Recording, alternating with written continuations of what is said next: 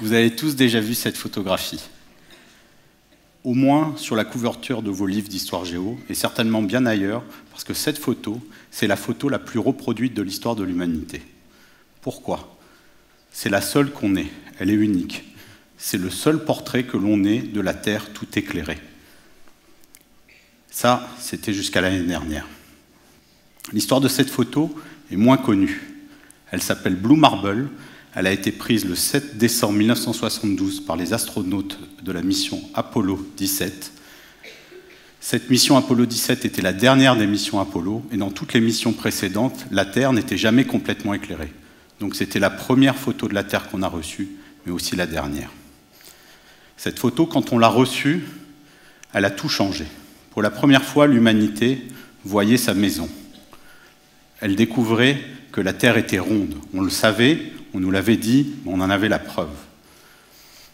Cette photo nous a fait aussi comprendre que notre planète était magnifique, mais qu'elle était aussi fragile, perdue dans une, étendue noire et lucubre.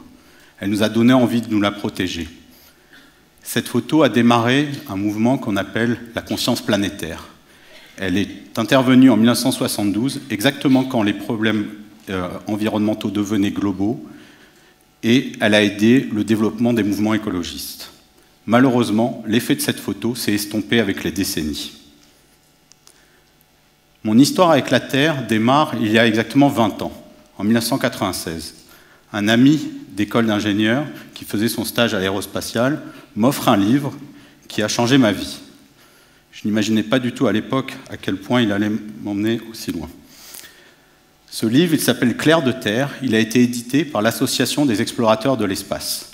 C'est un nom un peu pompeux pour, en gros, désigner l'amicale des anciens astronautes. Ce livre, je l'ai feuilleté et j'ai vu des photos absolument à couper le souffle de la Terre prise depuis l'espace. Mais ce n'est pas tellement ça qui m'a intrigué, c'était les textes qui étaient à côté de ces photos. C'était des citations d'astronautes d'une poésie extraordinaire. Ils semblaient avoir été touchés par la grâce, mais surtout d'un amour que je n'avais jamais vu pour la Terre. Je me disais qu'il y avait là peut-être quelque chose à exploiter pour changer les choses et rendre le monde meilleur. Eugène Cernan, qui était le dernier homme à marcher sur la Lune, a par exemple écrit dans ce livre Nous étions partis pour découvrir la Lune, nous avons découvert la Terre. Le sultan Al Saoud, qui fait partie de la famille d'Arabie Saoudite, famille royale, qui a séjourné à bord de la Station spatiale internationale, a eu ces mots lui aussi magnifiques. Le premier jour, nous montrions notre pays. Au troisième jour, notre continent. À partir du cinquième jour, nous ne faisons plus attention qu'à la seule Terre. Et ce livre, pendant des dizaines et des dizaines de citations, on voit des astronautes, des hommes, des femmes, de tous les âges, de toutes les nationalités, avec cet amour incommensurable pour la Terre. Quelque chose semblait les avoir touchés. Cet effet a été étudié et porte le nom d'Overview Effect. Il a été montré scientifiquement que l'effet combiné de l'apesanteur, de la peur, du silence et de l'exposition grand large à la Terre vue depuis l'espace qui tourne avec un rythme lancinant crée toutes les conditions pour une expérience mystique extatique qui les a marqués à vie. Ces astronautes étaient persuadés que la Terre était un être vivant, interconnecté, et qu'il fallait absolument la préserver. Le seul problème, c'est qu'il n'y avait que 500 personnes qui avaient vécu cette transformation. Il fallait généraliser ça. Heureusement, un homme a eu un rêve. Cet homme, c'est le vice-président Al Gore. En février 1998, il se demandait comment associer les gens autour du défi sur le, dérèglement climatique. C'était deux mois après euh, les négociations du protocole de Kyoto, où il s'était beaucoup investi en tant que vice-président des États-Unis. Une nuit, inspiré par Blue Marble et ce qu'elle avait changé quand il était euh, plus jeune, il eut le rêve d'envoyer une sonde dans l'espace pour filmer en temps réel et diffuser sur Internet qui venait de naître ces images pour tous les gens, pour qu'ils puissent toujours voir le, le visage éclairé de Gaïa. L'avantage, quand on est vice-président des États-Unis, c'est qu'on peut lancer un challenge à la NASA. Donc, apprendre à avoir à parler avec quelques spécialistes pour s'assurer que ce n'était pas complètement idiot. le, bureau du vice-président, par un communiqué de presse, a lancé le défi à la NASA d'envoyer un satellite dans l'espace pour amener ces images, et si possible, avant la fin de l'année 2000, le début du troisième millénaire. Donc en gros, ils avaient deux ans. Euh, le problème, c'est que pour avoir ces images, c'est très compliqué. Parce que si vous voulez avoir en temps réel toujours des images de la Terre complètement éclairées, il faut être situé sur l'axe Terre-Soleil, puisque c'est le seul axe où la Terre est toujours éclairée. Si vous êtes trop près du Soleil, la force d'attraction du Soleil vous, attire. Si vous êtes trop près de la Terre, c'est celle de la, de la Terre qui vous attire. Et il n'y a qu'un seul point entre les deux qui s'appelle le point de Lagrange L1, où les deux forces s'annulent. Manque de peau, il est à 1,5 million de kilomètres de la Terre. La NASA a relevé le défi. En un temps record, ils ont bâti ce satellite qui s'appelle Triana, qui était fin prêt pour euh, euh, regagner ce point L1 avant la fin du millénaire. Triana, c'était le nom d'un des euh, amis, enfin des compatriotes de Christophe Colomb, qui était à bord de la Pinta, en haut du mât, et qui le premier a vu le Nouveau Monde. Donc Al Gore avait donné lui-même le nom de ce satellite et l'avait appelé Triana. À l'époque, j'étais chercheur en mathématiques aux États-Unis. J'étais tellement fasciné par ce projet que j'étais prêt à lâcher mon boulot et à aller m'occuper, travailler à la NASA pour la promotion de ces images, parce que je me disais qu'il y avait là quelque chose d'extraordinaire. Mais les choses se sont gâtées.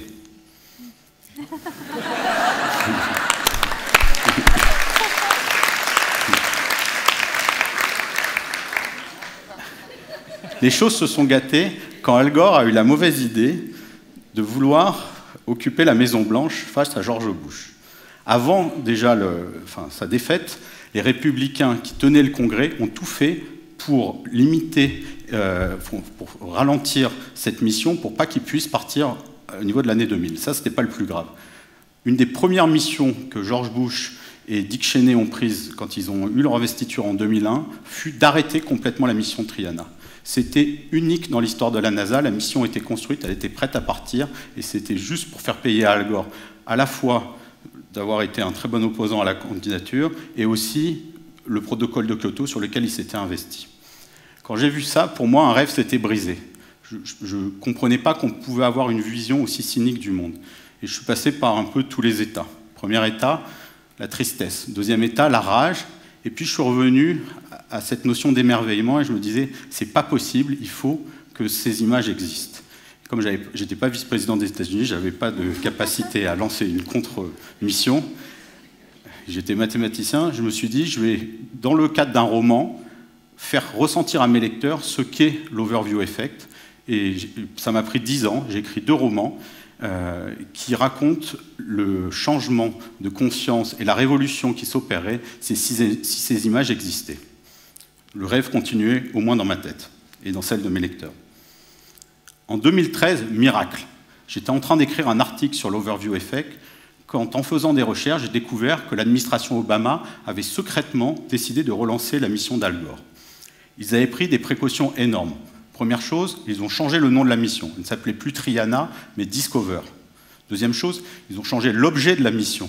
Ce n'était plus de filmer la Terre, mais de filmer le Soleil, qui est très bien visible aussi du point L1 dans le but de prévenir la Terre en cas d'éruptions solaires qui peuvent détruire nos équipements électromagnétiques. Autour de ce projet, ils ont embarqué d'autres agences, donc il y avait la NASA, l'US Air Force, qui a beaucoup d'équipements euh, en orbite, et aussi la NOAA, qui est l'institution météorologique américaine. Pour un peu rajouter du piment à tout ça, la NASA a décidé de euh, confier le lancement à une firme privée, une jeune start-up, SpaceX, d'Elon Musk, mais j'avais confiance dans le visionnaire Elon Musk pour mener cette mission à bout. Ça, c'était en 2013. Pendant deux ans, j'ai encore pas dormi pour, en attendant que cette mission parte. Le lancement a été reporté trois fois. Mais en février 2015, elle est partie. Elle est partie, elle a pris son envol vers ce point L1 à 1,5 million de kilomètres. C'est à peu près quatre fois la distance Terre-Lune. Il est arrivé là-bas au mois de juin de l'année dernière, juin 2015, et j'attendais ses premières photos et puis surtout ces images qu'Al Gore nous avait promis et qui déclencheraient chez tout le monde l'overview effect. Il a fallu encore attendre un mois et le 21 juillet 2015, le second portrait de Gaïa nous a été révélé par, euh, par la NASA. Le voici. Vous voyez que ce n'est pas la même photo de la Terre puisque vous n'avez plus l'Afrique au premier plan comme on le voit toujours sur cette photo Blue Marble. Ici, c'est centré évidemment sur les États-Unis. Euh. Mais dans le communiqué de la NASA, je m'attendais à trouver le lien vers la fameuse vidéo temps réel. Aucun lien vers la fameuse vidéo temps réel. Mais il promettait un site web au mois de septembre. Donc à nouveau, deux mois d'attente. Bon. Septembre 2015, la NASA respecte ses engagements et publie son fameux site web dans lequel il n'y avait pas de vidéo, mais uniquement des photos. Entre 10 et 20 photos par jour, prises sous différents angles de la Terre quand elle tournait. Personne n'a parlé de ces photos, personne ne les a utilisées, aucun overview effect n'a été déclenché, et un grand désarroi m'a habité. Tout ça pour ça. et puis j'ai eu un déclic après les attentats de Paris, en novembre 2015. Quand j'ai vu toute cette noirceur, je me suis dit, il y a vraiment besoin de poésie dans ce monde. Et j'avais pas le courage ou le temps de m'occuper tout seul de ces images de la NASA. Donc j'ai envoyé un message à mes lecteurs en disant, qu'est-ce qui veut m'aider à faire quelque chose avec ces images? Et là, miracle, mon ami Michael Bocara, qui est maintenant en Israël, qui est ici ce soir, m'a contacté et m'a dit, écoute, c'est lui qui m'avait passé ce livre Clair de Terre, il m'a dit, je veux bien t'aider. On avait commencé cette histoire ensemble, on allait la finir ensemble. On a passé nos nuits à essayer de voir qu'est-ce que l'on pourrait faire avec ces images. Et puis, un soir, Eureka. Attendez.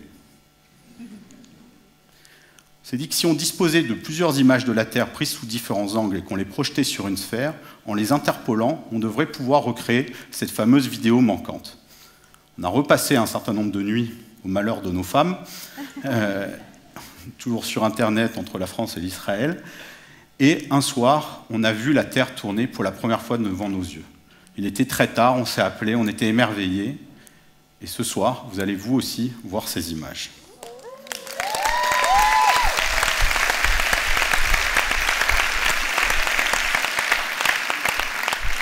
Ces images ont été prises juste avant la préparation de la, conférence, donc ces images du 29 mai. Elles sont prises du point L1, donc imaginez-vous dans ce point à admirer la Terre, donc si c'est possible d'éteindre complètement la lumière, et je vous laisser faire l'expérience de la Terre.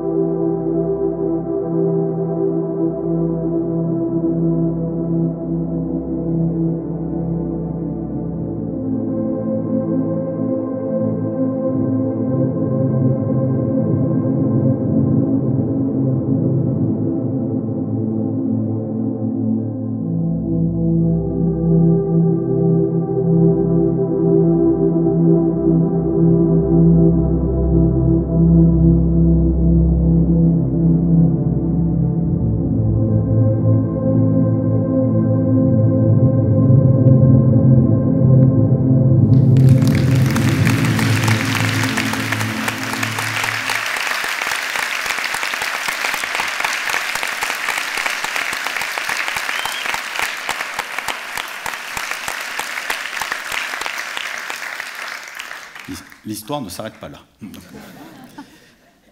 Après avoir réalisé cette première vidéo, on a décidé de tester euh, un peu la réaction des gens euh, et on l'a mis sur Internet, sur Instagram, et on a tagué la NASA.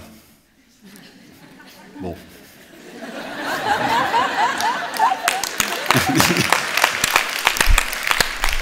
Quelques heures après, nous recevions un mail de la NASA qui nous félicitait et qui se demandait comment on avait pu réaliser cette vidéo.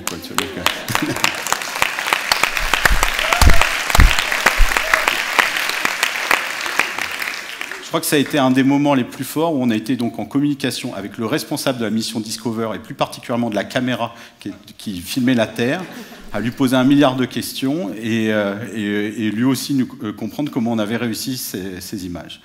Et après cette conversation avec la NASA, on s'est dit bah, peut-être là on a réalisé quelque chose d'important et on s'est dit on va aller jusqu'au bout de notre rêve.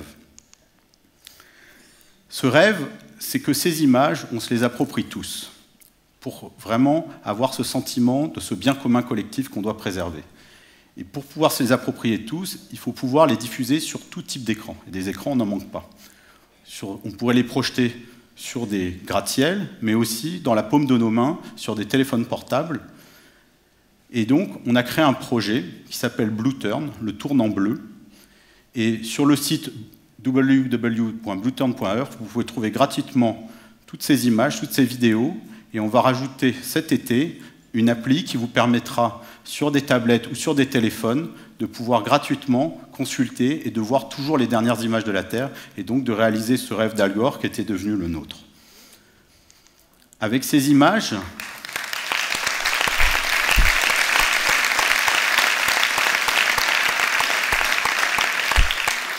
Avec ces images, on espère générer un nouvel enthousiasme autour de cette planète et surtout des projets artistiques, méditatifs et éducatifs inédits.